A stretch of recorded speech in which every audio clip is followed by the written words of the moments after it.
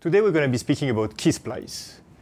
If you're running a Linux server, you will face occasionally the need to update it, just because there are a kernel updates, vulnerability patch. In a Linux server, in order to apply those patch, you need to do a reboot of the server. So you end up with a dilemma whether you should apply those patch and reboot the server and then generate a downtime for your user or keep the server available for your end user because maybe there is a specific event that you want to manage or you are a specific requirement for uptime that you need to stick to and then run the risk of having a vulnerability that can be exploited on your server. Today, with the use of Ksplice, on all Oracle Linux servers, you are able to apply all patches, kernel update, and user update without the need of rebooting your servers.